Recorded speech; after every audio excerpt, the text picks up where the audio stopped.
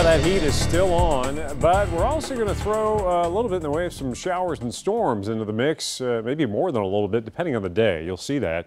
Just within the past, you know, 20 minutes or so, we've got something blossoming up on the north side of Fayette County there on the max track. And if we zoom it out and throw a, an hour's worth of data on, you can see some development of showers south of Louisville and that little pop as we get into Fayette County. So we're going to see uh, some occasional showers, thunder showers through the early afternoon, but I think our main round of development probably won't get going until later on tonight. And they've had strong to severe storms, had a pretty impressive round go through Ohio, West Virginia, Indiana overnight.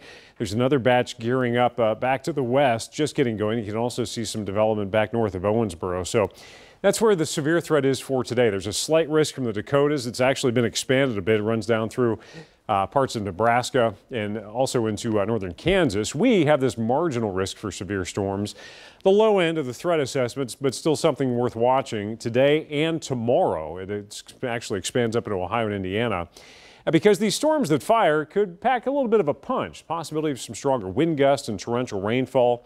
And it'll be fairly hit or miss. This is through this afternoon. What we're going to keep an eye on is whether or not this round back to the west will hold together model run to model run, uh, the data has been going back and forth as to not whether or not that'll happen. But I think if we see anything on the strong to severe side, it would be late this afternoon, potentially into this evening if that batch holds together. And then some additional scattered showers and storms tomorrow as a warm front lifts north and then into uh, Wednesday. I think we'll see it peak again, especially later in the day as this cold front drops in from the northwest. That's Wednesday morning. By Wednesday afternoon, after into the evening, you can see those showers and storms blossoming again. And notice it's southeast. That's where we could use some rainfall. The 30-day percentage of normal rainfall shows where we're running dry. It's northeastern Kentucky, parts of the bluegrass running into southeastern Kentucky.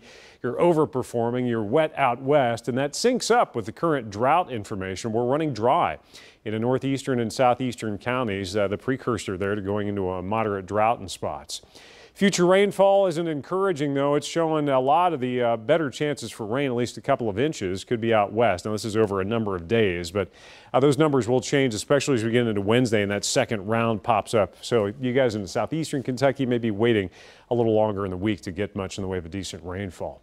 Temperature-wise, we are in the mid-80s. It is warm. It's already 90 in Richmond. The dew points in the low to mid-70s. It is steamy out there. Hit 92 degrees uh, yesterday. So we missed our highest high of the year so far. So that still holds at 93 July 5th. But look at Jackson and London. Jackson hit 93. That was one degree shy of a record high. London yesterday hit 94, two degrees shy of a record high. So yeah, that heat is still cranking, and we're going to be upper 80s around low 90s down south again today, and so it goes the rest of the week. The one changing factor will be the coverage of the showers and storms. I think we'll see a pop later on today, another uh, more substantial around Wednesday. Low end threat continues with us Thursday and Friday, and then high pressure clamps down. The storm chances back off this weekend. It looks like we could crank that heat back up to the low 90s this weekend for just about everybody.